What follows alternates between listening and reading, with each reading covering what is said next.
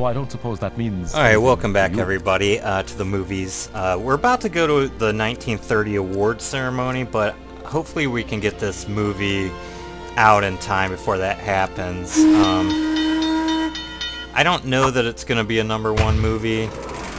Um, I kind of doubt it, but it's possible it will, because we have the number two movie right now. Um, but let me pull everybody over here that needs to be over here just so we can hopefully get this started. Okay, no extra in the first scene. It's Tina and Bacon Burger.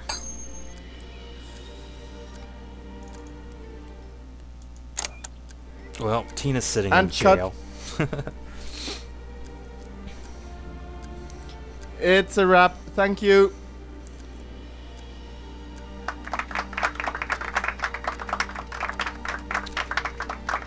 Pretty sure for the next scene we're gonna need the extra. Um, which is, uh, I'm guessing Elliot Attridge, probably. Yeah. I'll pull him over. Okay, get in the place, Bacon.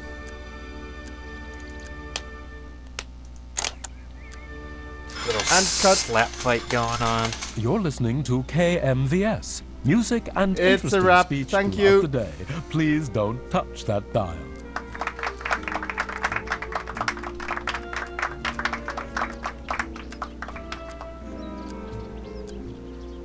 Well, it looks like we're gonna get some uh, movie making technology before the award, so I think when this movie's done,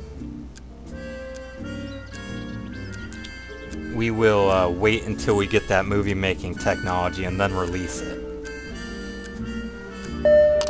Attention! A new rival studio has just opened for business.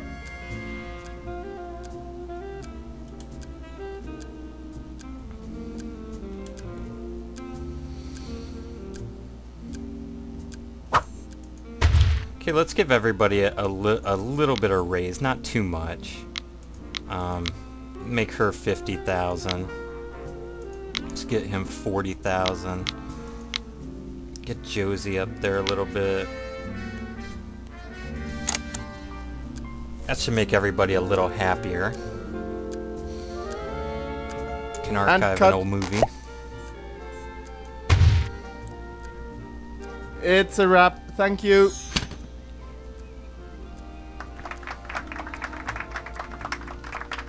Newsflash! The stock market has crashed after dropping through the floor. Traders wept and threw themselves from bridges. As the news came, the market had shattered and melted into a thousand pieces. Analysts are investigating whether the market can be glued together or whether a totally new stock market is a better bet. Okay, so the stock market crash. That makes comedy movies more popular. Um, this is a sci-fi movie, which was popular. I don't know if it's still going to be popular, but I'm going to wait until this happens, and then I'm going to release this movie. And what is this? Costumes.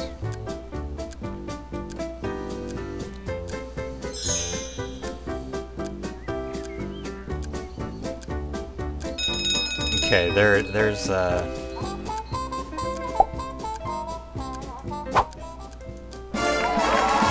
There's the, the movie making technology, so hopefully that comes into play on this movie right here. If it does, then we'll probably get a number one movie. If not, then we probably won't. I don't know. I don't know that we will. Um, well, we can watch the movie.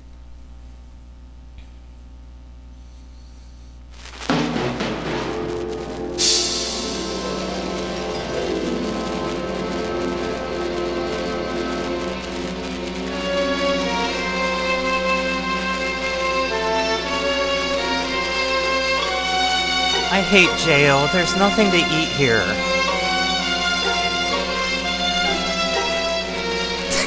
I didn't. e- I didn't even have. T- I didn't even have time to come up with anything there. That was so short.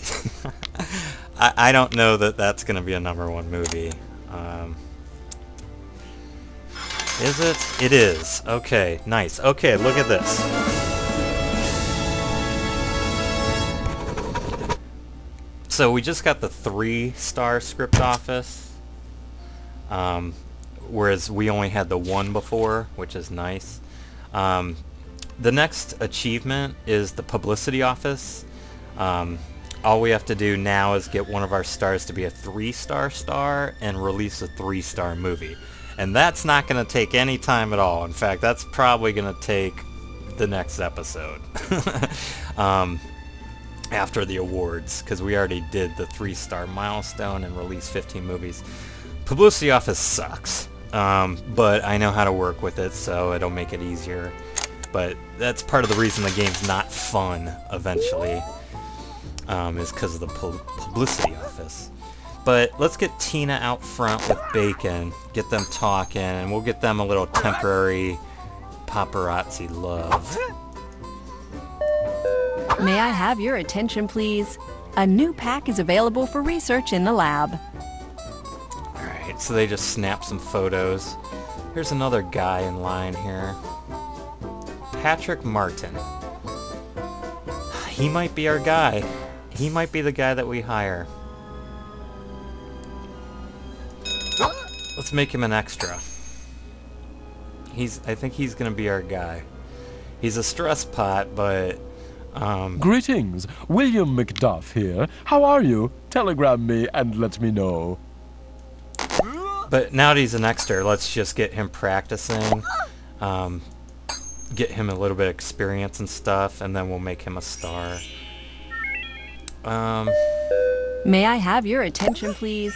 A new pack is available for research in the lab. okay, yeah, get out of here. May I have your attention, please? Today's the big awards day. The studio head's presence is required at the ceremony. Okay, I'm trying to catch up to Tina. She's eluding me.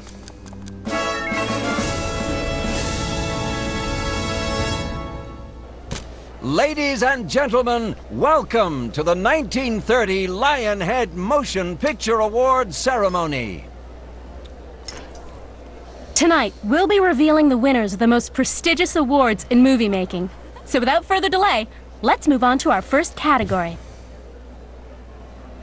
The nominees for highest charting star are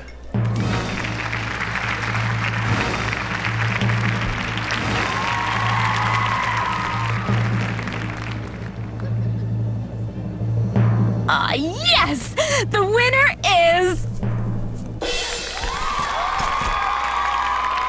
That's Tina Peterson. movies that capture the imagination of the public and show creative innovation often make it to the top of the movie charts. These films have achieved just that and will contest the highest charting movie award. This is whatever movie we just put out. I don't even remember the name. Was it Robot Overlord or Overload or something? I don't remember, but that's what And this, the winner this movie is. Yeah, Robot Robot Overload. No, Robot Overboard. The nominees for highest ranking studio are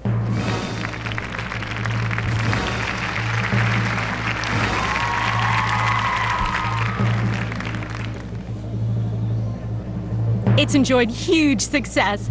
Please put your hands together for.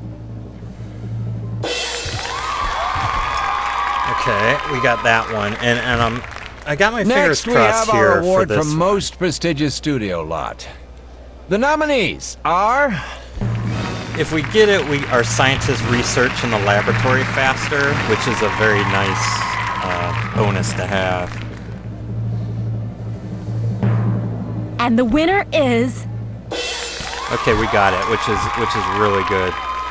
And that concludes our awards ceremony.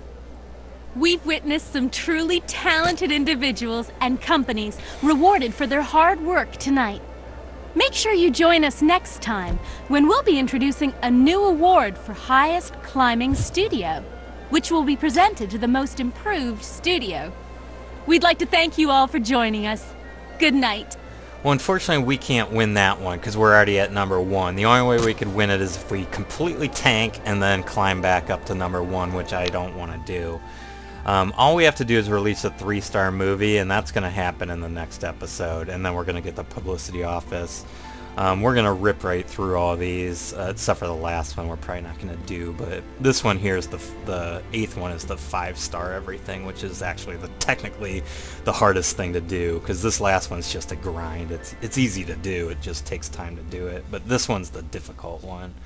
Um, so, with that said, um, we got we got all the same awards, and we got a, the new one for the the laboratory, um, which is good.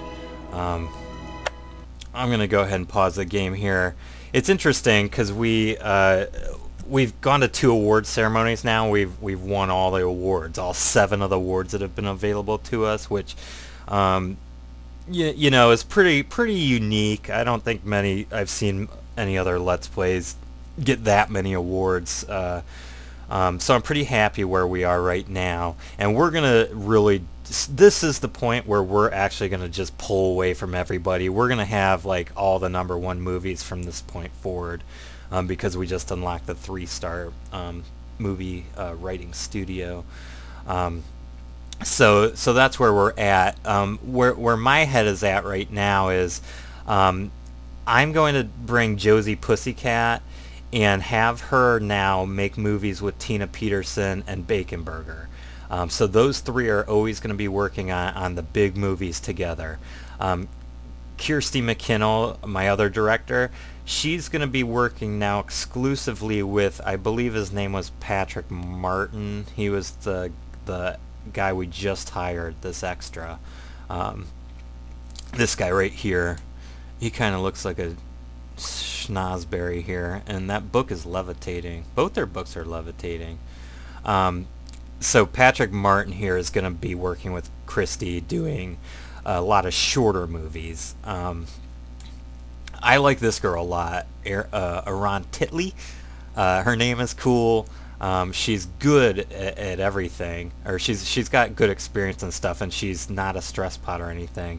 Um, so I like her. So maybe at some point, if maybe if Patrick Martin doesn't work out, we can maybe switch uh, him out with uh, Ron Titley. But we've got them both as extras right now, so they're practicing, getting experience. Um, and once they do, I'll bring him in, bring him in anyways as a, a uh, movie star.